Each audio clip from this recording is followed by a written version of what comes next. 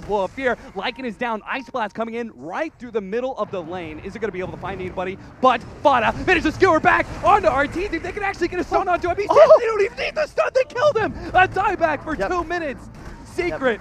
Have they just done it? And Magpie's back too. He realizes, oh shit, two minutes, no Slark. I'm gonna go empower my cores. We're gonna go hit some buildings, boys, and that's exactly what they're gonna do. Ace played that fight so well, runs away up to the top Radiant area of the map, Mhm. regens the full thanks to the heart.